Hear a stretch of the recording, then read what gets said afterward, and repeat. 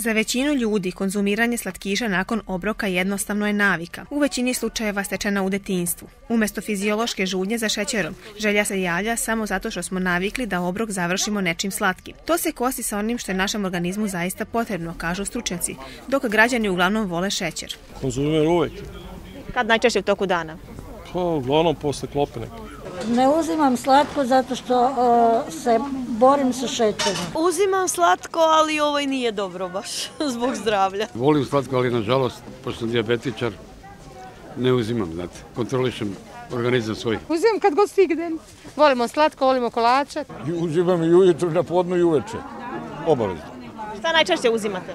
Pa bombone. Obrok koji se sastoji od rafinisane skrobne hrane, koja se brzo vari, kao što su beli hleb, pirinač i rafinisane žitarice, prouzrokovaće povećanje šećera u krvi nakon obroka i tada možemo osetiti potrebu za uzimanjem slatkiša.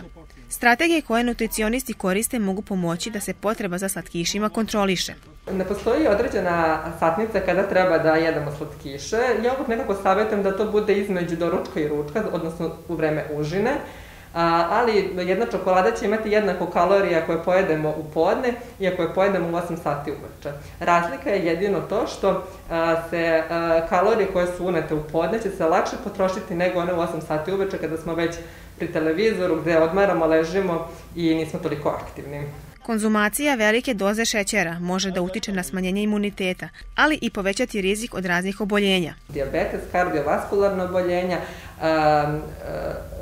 kvarenje zuba, pojava bubuljica i akni.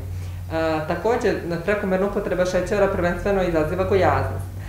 Zbog toga dnevne energetske potrebe šećera bi bile 5% naših dnevnih kalorija, otprilike 25 grama šećera ili jedna supena kašika šećera, a kada bi to gledali kroz namirnice, to bi bila čaša jednog gaziranog soka. Ukoliko imamo želju za šećerom, bolje je da pojedemo slatkiš koji smo sami napravili, sveže ili suvo voće ili pak čokoladu sa 70% kakao mase, jer su to zdravije namirnice od prerađenih šećera koje možemo kupiti u prodavnici.